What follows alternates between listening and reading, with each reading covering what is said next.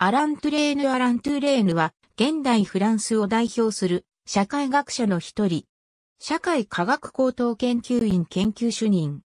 社会運動研究センターや社会学的介入分析センターを創設する。フランス社会学会会長や国際社会学会、副会長などを歴任する。新しい社会運動論や脱産業社会論などで世界的に知られる。主要な理論的後継者としては、ミシェル・ヴィヴィオルカやフランソワ・デュベを中心に、トゥレーヌ派と呼ばれる多くの社会学者がいる。1970年代にパーソンズと共に来日し、日本社会学大会で講演なども行っている。その後も複数回日本を訪れており、似たがいカモンらのアプローチにも強い影響を与えている。パリ高等師範学校で歴史学を学び、1950年に教授資格を獲得する。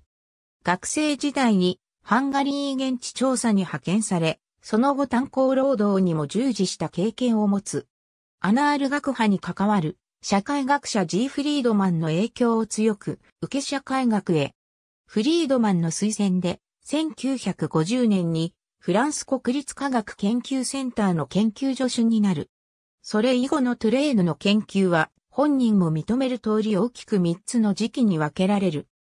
前期は、労働、産業社会学者として、ルノー工場の調査や国際階層調査を実施し、博士論文、行為の社会学では、フランス構造主義、パーソンズ機能主義に対して、行為主義の立場を提起した。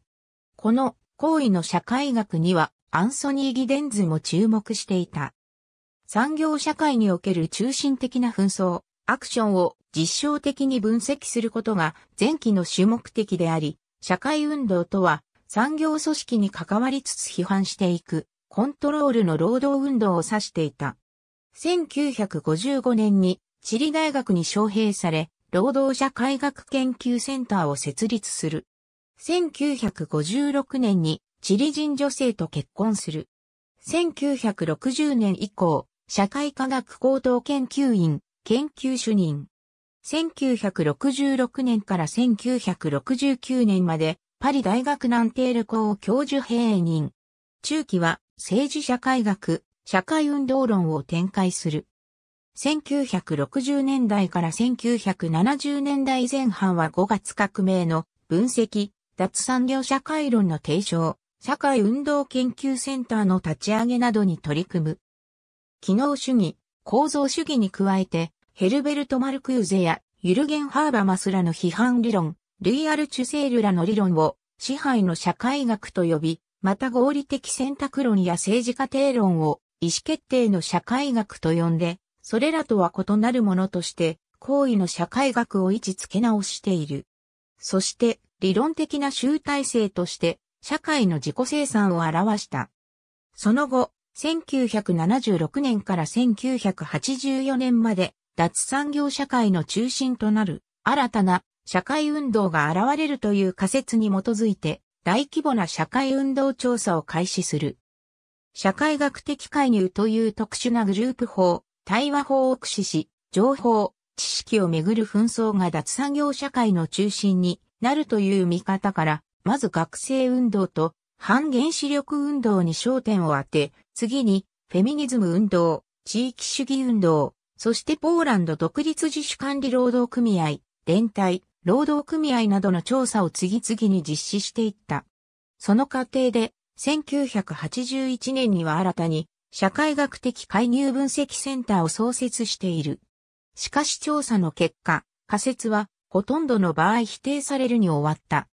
1969年と1972年に来日し、学生運動とプログラム化社会論について講演、報告している。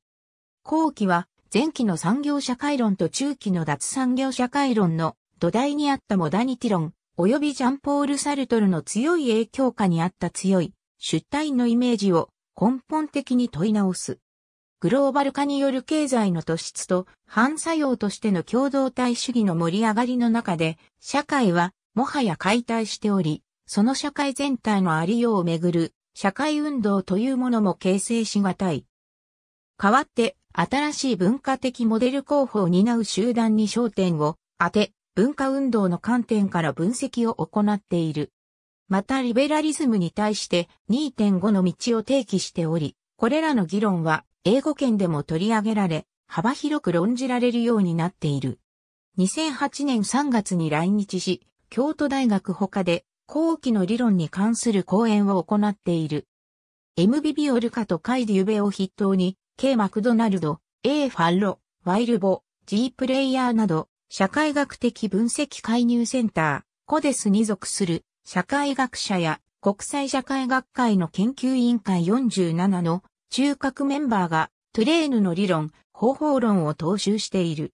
政治的には中道左派の立場を取り、フランス社会党のブレーンともなっている。娘のマリーソル・トゥーレーヌは社会党、左翼連合所属の国会議員で、エロー内閣の閣僚、息子フィリップは内分泌学の教授である。ありがとうございます。